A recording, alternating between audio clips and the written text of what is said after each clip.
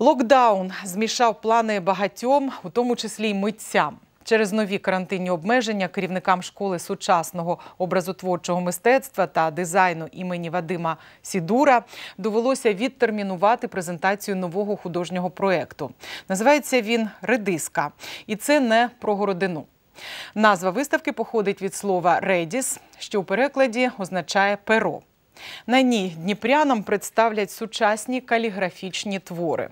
Відкритий відбір робіт оголосили наприкінці осені. Наразі організатори отримали шість заявок із Дніпра, Києва, Кременчуга та Запоріжжя. І ще свої твори надіслав каліграф із Сирії.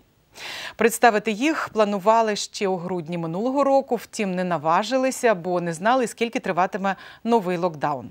Тому збір робіт поки призупинили. Але куратори сподіваються, що відкриття відбудеться 28 січня.